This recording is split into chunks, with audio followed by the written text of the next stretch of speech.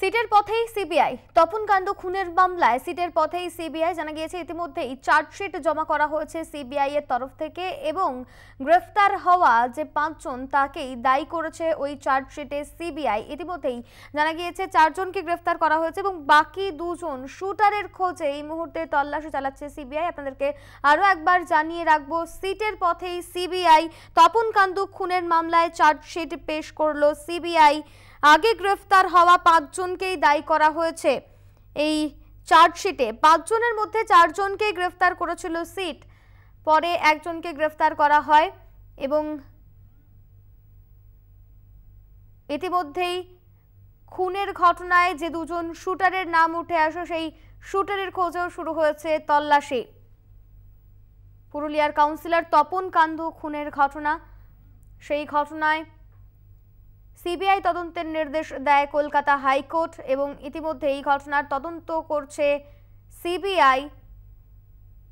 এবার সিটের পথেই হাঁটল সিবিআই। তপন কান্দু খুনের মামলায় চার্জশিট পেশ করা হয়েছে সিবিআই এর তরফে এবং জানা গিয়েছে সেই চার্জশিটে আগে গ্রেফতার হওয়া পাঁচজনকেই দায়ী করা হয়েছে। পাঁচজনের মধ্যে চারজনকেই গ্রেফতার করেছিল সিট। যদিও পরে আরও একজনকে গ্রেফতার করা হয় এবং এর পাশাপাশি যে দুজন শুটারের নাম উঠে আসে, সেই শুটারের খোঁজে চলছে তল্লাশি। পুরুলিয়ার কাউন্সিলর তপন কান্দু এবং তার ঘটনায়, তার মৃত্যুর ঘটনার তদন্ত করছে সিবিআই।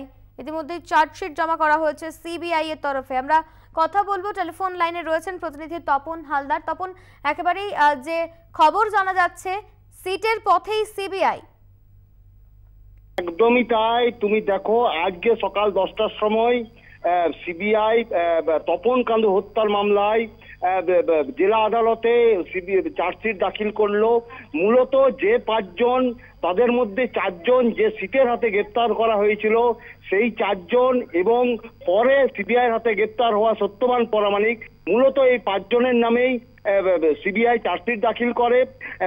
পরবর্তীকালে আরও চার্জশিট, সাপ্লিমেন্টারি চার্জশিট দেওয়ার কথা জানা যাচ্ছে সিবিআইয়ের পক্ষ থেকে। তবে দেখো এই ঘটনা যে গত তেরোই মার্চ ঝালদার এক নম্বর ব্লকের যে গোকুলনগর গ্রামের পাশে যে কংগ্রেস কাউন্সিলর তপন কান্দু খুন হন, তারপরেই সিটের হাতে এই তদন্তভার তুলে দেয় জেলা পুলিশের কর্তারা।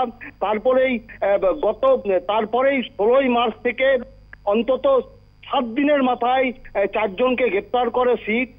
এবং তারপর থেকে গত এপ্রিল মাসের চার তারিখে সিবিআই সিবিআই তদন্তের নির্দেশ দেয় কলকাতা হাইকোর্ট।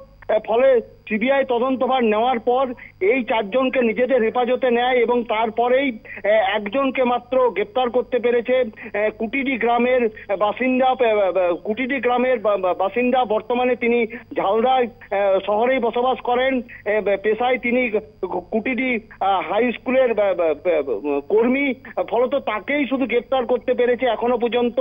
এই নব্বই দিনের মাথায় পুলিশ সিবিআই যে চার্জশিট দিল ফলত সেভাবে, যেভাবে দাবি করা হচ্ছিল, যে সিবিআই তদন্ত দিলে এই গোটা গোটা ঘটনা ঘটনা প্রকাশ্যে চলে আসবে, এখনও পর্যন্ত যা দেখা যাচ্ছে, সিবিআই সেই অর্থে সেরকম কিছু তদন্ত করতে পারেনি, ফলত আগামী দিনে দেখা যাক কি হয়, কারণ সাপ্লিমেন্টারি চার্জশিটের কথা যখন বলছেন তারা তবে এই ঘটনায় যে দুজন শুটার, সেই শুটারকেও এখনও পর্যন্ত গ্রেপ্তার করা যায়নি ফলত ঝালদাবাসীর মধ্যে একটা এই সিবিআই তদন্ত নিয়ে প্রশ্ন শুরু হয়েছে যে যেভাবে সিট ঘটনার দশ দিনের মাথায় চারজনকে গ্রেপ্তার করতে পেরেছিল তারপরে এই যে সিবিআই তদন্তভার নেওয়ার পর থেকে এখনও পর্যন্ত গ্রেপ্তারের সংখ্যা এক।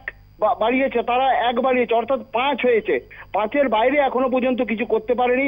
ফলত ঝালদাবাসীর মধ্যে একটা গুঞ্জন শুরু হয়েছে যে এর থেকে সিবিআই সিবিআই তদন্ত নিয়ে ইতিমধ্যে প্রশ্ন উঠতে শুরু করেছেন ধন্যবাদ তপন আমাদের সঙ্গে থাকার জন্য।